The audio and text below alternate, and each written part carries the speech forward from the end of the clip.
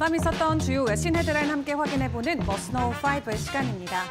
오늘 뉴욕 증시 일제히 하락 마감했습니다. 다만 최근까지 뉴욕 증시의 분위기 나쁘진 않았는데요. 여러분들은 투자하시면서 최근의 시장을 어떻게 느끼셨을까요?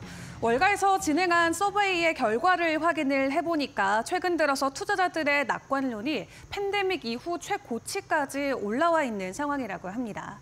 미국의 전반적인 경기 연착륙에 대한 기대감뿐만 아니라 중국에서 부양책을 내놓으면서 말 그대로 주식에 투자하는 위험 자산의 선호 심리가 급격하게 올라가고 있는 상황인데요. 오브 아메리카에서 함께 공개한 서베이의 내용들 구체적으로 확인을 해보도록 하겠습니다. 일단 오브 아메리카의 10월 펀드 매니저 서베이에 따르면 글로벌 투자자들에 대한 낙관론이 팬데믹 초기였던 2020년 6월 이후로 최고조까지 올라간 게 확인이 됐고요. 현재 현금 비중은 9월에 4.2%에서 10월 들어서는 3.9%까지 감소한 반면 주식의 비중은 31%로 급증했고 다만 채권 비중은 15% 감소하면서 역대 최대 감소폭을 기록했다고 합니다. 한마디로 사람들은 지금은 현금이라던가 채권의 비중을 줄이고 주식을 적극적으로 매수하고 있는 시기다라고 이야기를 해볼 수가 있겠고요. 뱅크 오브 아메리카는 이러한 현상을 놓고 현재 현금 수준이나 주식 배분 그리고 경제 성장 예측을 기반으로 이 펀드 매니저들의 심리가 가장 광범위한 척도에서 급상승하고 있다라고 평가를 합니다. 9월까지만 해도 이 척도의 깊이가 3.8로 확인이 됐었는데 10월 돼서는 5.6까지 급격한 상승을 보였고요. 그리고 글로벌 펀드 매니저의 주식 비중 또한 지난 2020년 6월 이후로 가장 크게 상승한 것으로 확인이 됐습니다. 이렇게 급격하게 드러난 시장의 낙관론을 놓고 현재 고점 매도에 대한 매도 신호도 나오고 있는 것 아니냐라는 우려도 동시에 나타나고 있는데요. 일단 지난 몇 달 동안 지속적인 주식시장의 비중이 높아지면서 사실 금리 인하 시기와 맞물려서 은행주들의 실적에 대한 우려감이 월가에선 있었지만 되려 더 긍정적인 실적을 내주는 하나의 모멘텀이 되기도 했습니다. 간밤 여러 은행주들 다시 한번 실적 발표를 했는데 3분기 깜짝 실적을 이어 이어간 자세한 실적 내용도 계속해서 확인을 해보시죠. 지난주에 먼저 대형 은행주들의 실적이 나왔습니다. 어닝 서프라이즈를 기록하면서 긍정적으로 이번 어닝 시즌을 맞이했는데요. 오늘 추가적으로 실적을 발표한 오브 아메리카 그리고 골드만삭스 또한 시장의 예상치를 뛰어넘는 긍정적인 실적을 들고 왔습니다. 시장이 우려했던 부분들도 있었지만 말씀드렸던 대로 투자자들의 투자 비율이 높아지면서 투자 수수료율이 급격하게 급증한 게 이번 은행주들에게는 긍정적인 호실적으로 연결이 된 것으로 보여지고 있고요.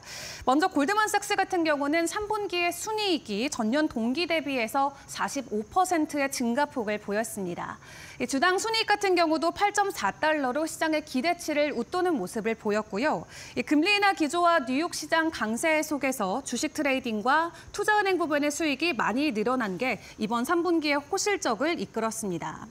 특히 기업의 인수합병이나 회사채 발행 그리고 기업 공개 등이 활발하게 이루어지면서 투자은행 부분의 수수료가 전년 동기 대비 20%나 급증했고요.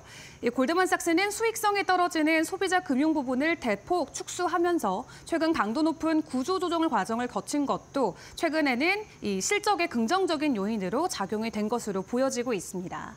그리고 뱅크 오브 아메리카 또한 예상보다 나쁘지 않은 실적을 내놨죠. 이 은행의 주수익원인 순이자 마진 같은 경우는 전년 동기 대비해서 2.9% 하락을 했지만 채권이나 주식 트레이딩 그리고 투자은행 수수료 수익이 크게 늘어나면서 수익 감소를 상쇄한 것으로 보여지고 있습니다.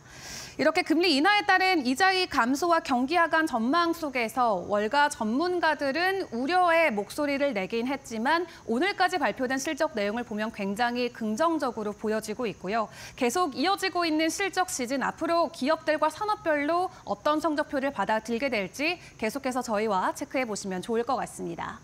예, 그런 가운데 실수일지 하루 먼저 실적을 발표한 ASML이 불러온 반도체 쇼크. 오늘 시장에서 급격한 하락을 나타냈죠. ASML도 두 자릿수 이상으로 주가 하락을 마쳤고요. 이 예, 때문에 반도체 지수 그리고 그 안에 있는 종목들까지 일제히 하락세가 이어졌습니다. 있습니다.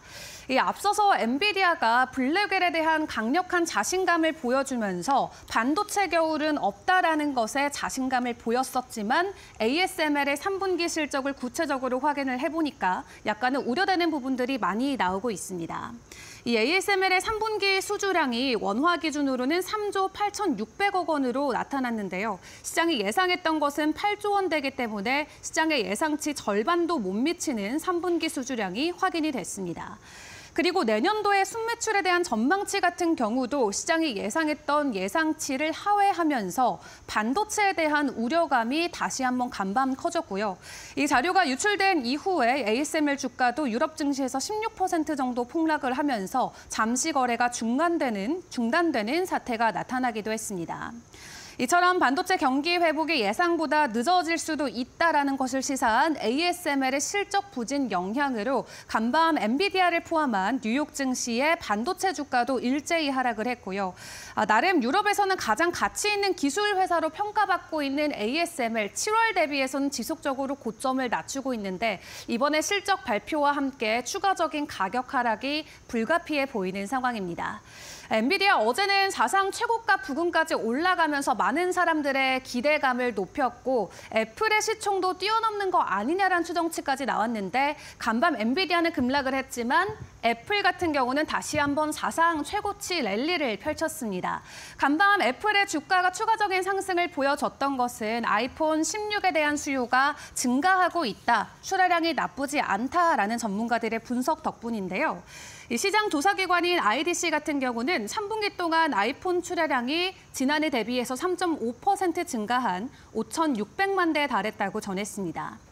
월가가 예상했던 예상치는 5천만 대이기 때문에 예상치를 초과하면서 애플 같은 경우는 3분기에 20억 달러에서 40억 달러의 추가 매출을 낼 수 있을 것으로 보여지고 있고요. 이와 관련해서 IDC 연구자는 아이폰 15를 포함해서 구형 모델들도 이 애플 인텔리전스와 관련된 프로모션 그리고 마케팅 강화 덕분에 판매 호조세를 보이고 있다고 시장을 설명했습니다. 또 애플 인텔리전스의 단계적인 출시에도 불구하고 고객들이 예전 모델에서 지금은 AI 스마트폰이 지원되는 버전으로 업그레이드할 것으로 예상되면서 장기적인 매출까지도 이어질 것으로 분석을 했는데요.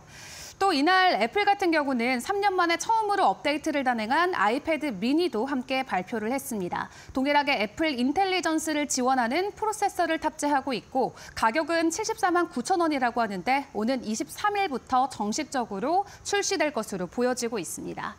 하루 만에 애플과 엔비디아의 주가 방향성이 엇갈리면서 일단 애플은 엔비디아로부터 더 멀어지는 모습을 보여줬는데요. 추가적인 출하량 수치와 함께 애플의 주가 지속적인 가격 상승을 보일 수 있을지 시장 분위기 계속해서 점검을 해보시죠. 마지막으로 암호화폐 시장 상황도 점검해 보도록 하겠습니다. 아, 간밤 뉴욕 증시가 하락세를 보였던 반면 비트코인은 연일 강세를 이어가고 있습니다. 어제 6만 5천 달러까지의 가격 회복을 보였던 비트코인이 간밤에는 6만 8천 달러까지의 가격 되돌림을 보여주는 모습이었고요. 현재 시간 기준으로는 6만 6천 달러 선에서 가격 횡보를 이어가고 있습니다. 업토버가 되면서 비트코인에게는 우호적인 수익률을 가져다주는 10월에 대한 기대감이 9월 4월부터 나오고 있었는데 또 대선 시기와 맞물리면서 그 기대감이 증폭되고 있는 분위기가 나타나고 있죠. 그리고 시장 안에서는 최근 트럼프가 재선될 수 있는 가능성이 커지고 있다라는 심리가 확산이 되면서 비트코인 투자 심리도 함께 크게 개선되는 모습이 나왔습니다. 특히 비트코인의 저항선으로 불렸던 6만 6천 달러를 돌파해주고 추가적인 가격 상승을 보여줬던 만큼 완전한 상승 랠리로의 전환이 가능하다라는 시장의 평가들도 많이 나오고 있는데요. 연말까지 목표가 15만 달러 이상까지 제시하는 월가의 의견들도 많이 나오고 있는 만큼 현재 구간에서 추가적인 비트코인의 강세 흐름이 나타날 수 있을지 시장 분위기 점검해 보시면 좋을 것 같습니다. 지금까지 머스노우 5 시간이었습니다.